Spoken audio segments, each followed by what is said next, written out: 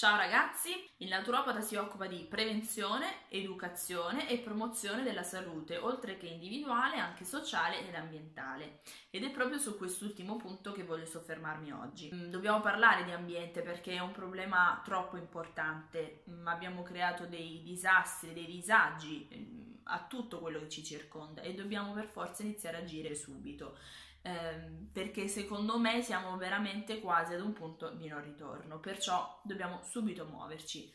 Quali sono le cose che possiamo fare subito nell'immediato? Diciamo che due cose fondamentali sono consumo responsabile e cittadinanza attiva. E ora vi spiego che cosa intendo.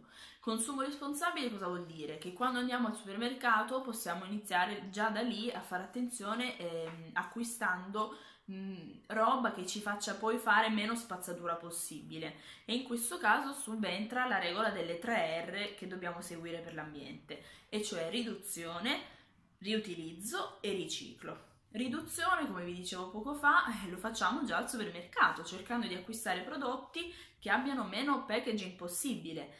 Un esempio che mi viene da fare sono le mozzarelle. Questa cosa proprio mi è rimasta impressa perché io vedo le mozzarelle e sono sia eh, singole incartate, posso prenderne una, due, tre, quattro, quante voglio, o altrimenti ce ne sono tre che sono singolarmente impacchettate e poi hanno un altro eh, packaging attorno. In questo modo abbiamo solo creato più spazzatura. Il costo invece è uguale. Perciò cerchiamo di ridurre al minimo la spazzatura che andiamo poi ad immettere di nuovo in circolo.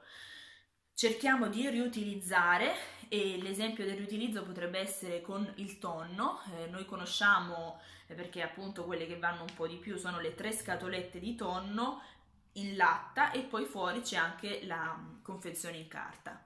Magari compriamo quelle in vetro, la stessa quantità di tonno, forse anche un po' di più, il prezzo anche più o meno è uguale e riutilizziamo il boccettino di vetro e possiamo riutilizzarlo in tantissimi modi, quindi non solo in cucina con le conserve con le marmellate, insomma con qualsiasi cosa, ma anche in casa metto dei bottoni, metto dei chiodi, per qualsiasi cosa. L'ultima R che mancava era il riciclo e questo anche lo facciamo quando andiamo a fare la spesa.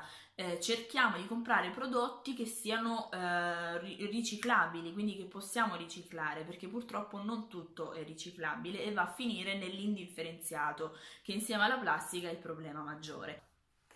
Eh, un'altra cosa secondo me importantissima eh, che riguarda la plastica eh, sono le bottigliette, eh, quelle da 500 ml eh, perché tutti le compriamo tutti i giorni, eh, ci viene spontaneo e invece magari già solo lì provare a comprare la borraccia e riempire quella cioè praticamente riduciamo tantissimo il consumo di plastica che poi si immette eh, nel, circolo della, nel circolo vizioso della spazzatura, chiamiamolo così. Quindi 3R, mi raccomando. E un'altra cosa fondamentale è la cittadinanza attiva. Che cosa vuol dire? Mm, purtroppo, soprattutto in Italia, nel nostro paese, eh, siamo un po' omertosi e quindi se vediamo qualcuno fare qualcosa di sbagliato per strada tendiamo a non farlo notare, a non dirlo.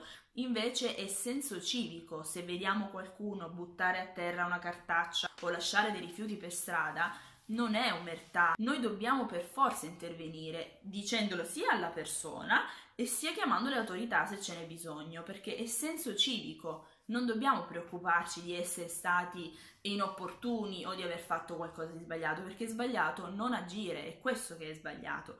Perciò mi raccomando, cerchiamo di fare la differenza nel piccolo, nel quotidiano. Spero che possiate prendere degli spunti di, di, riflessione da questo video e sono curiosa di sapere cosa fate voi nel quotidiano per l'ambiente. Buona serata!